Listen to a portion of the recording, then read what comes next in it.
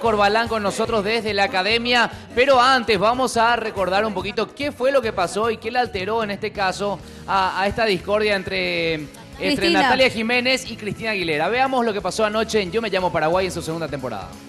Tenemos más cosas que hablar con mucho, nuestra Cristina mucho de hablar con Aguilera. Cristina Ella Aguilera. formó parte también de toda la Qué polémica en escándalo Tobatí. que armaste en Tobatí, Cristina, ¿eh?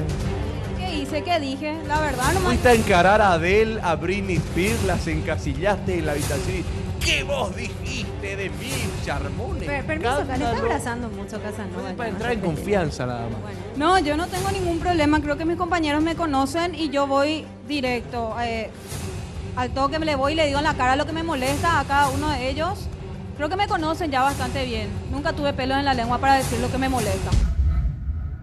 A mí me gusta que me respeten como yo respeto a los demás. Yo creo que los respeto a cada uno de ellos. No les falta respeto. Inclusive estoy teniendo un roce, ¿verdad? Ahora mismo con Natalia, pero es algo que vamos a ir a ver si podemos solucionar estos días.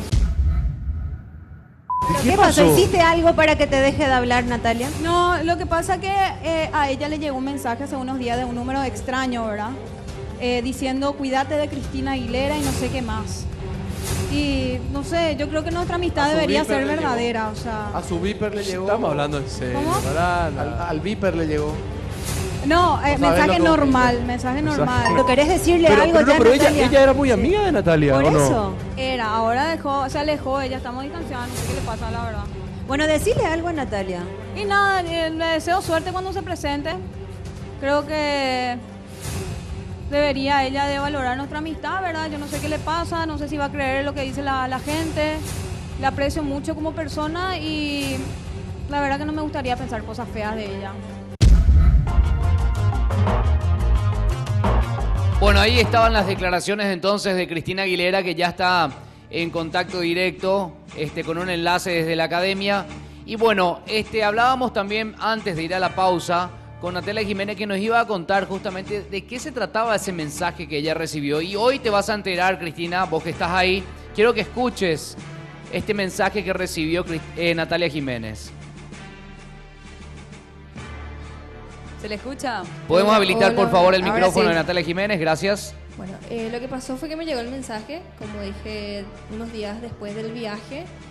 El mensaje decía que me cuide de Cristina, que ella es una falsa, que ella dice cosas de mí cuando yo no estoy y que no le cuente más mis cosas. Yo le mostré a ella el mensaje. Claro, convengamos. En ese entonces, Cristina y vos eh, tenían una alianza, Sí. una, una amistad muy sólida. por Era así su decirlo. única amiga, dicen. Sí. Así, amiga, amiga. Porque ella tiene problemas Su con, íntima. con mucha gente en- adentro de la academia. Sí. Y yo le mostré el mensaje y después de que yo le mostré, ella, no sé si por cola de paja, pero ella fue la que se empezó a alejar y dejó de hablarme. Y Al yo- final. Ahora, Yo ¿de, traté quién- de mantenerme en el margen. ¿de dónde y bueno, viene ese mensaje? Sí. Yo no sé de quién es el número, pero como que dice que dice cosas de mí cuando no estoy, yo creo que es de alguien de la academia. Es alguien de la academia que vos no sabés. Pero no tiene foto de perfil, nada. No, yo, yo llamé al número, inclusive con Cristina, nosotros llamamos al número, no atendía, daba pagado también. Registramos y no tenía foto de perfil. Perfecto, tampoco. Natalia. Ahora quiero saber qué piensa Cristina de todo esto. Este, ahora que, bueno, ya, ya habías vivido esto, ¿no, Gustavo? Así mismo, bueno, vamos a hablar entonces con Cristina. Dicho sea de paso, te queda lindo el rubio, ¿eh? Bueno, eh, terminó esta amistad eh, según Cristina Aguilera. Ahora el enfrentamiento es tu momento. Hola, ¿qué tal? Eh, ya aprovechando que está Natalia, ¿verdad? Mi amistad hacia vos no va a terminar.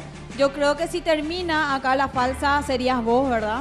Epa. Sí, porque yo te conté a vos cosas que no le contaría a nadie aquí en la academia. Yo también te conté cosas y... Y que vos mensaje- creas, no, eh, déjame terminar, voy a hablar hasta ahora. Que vos creas en cizañas, que, que ya sea de los compañeros acá en la academia, a mí no me parece, porque yo te aprecio como, o sea, vos eras mi amiga, ¿entendés lo que te digo? Mi amiga eras. Pero eras Ah, o le aclarar, todavía yo Cristina. Le considero mi- no, yo le considero todavía mi amiga, pero desde que yo viajé a Tobatí, yo no sé si ella se puso celosa o, o ¿Celosa se pichó porque me fui, me fui a Tobatí. Ella dejó de hablarme así, se alejó y después wow viene así a decirme que se le, le llegó un mensaje. Y ¿Tienen algo que ver acá Adele y eh, Britney en este en esta ruptura de amistad?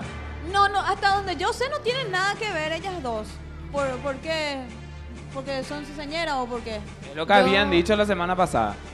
Y no sé, habría que preguntarle, no, no, no me van a lo decir, ya le envié el mensaje a Natalia. Cristina. ¿podés decir quién está en el medio de todo esto? Porque dijiste que alguien te contó cosas que solamente Natalia Jiménez sabía. No, no, no, no dije eso. Dije nomás que.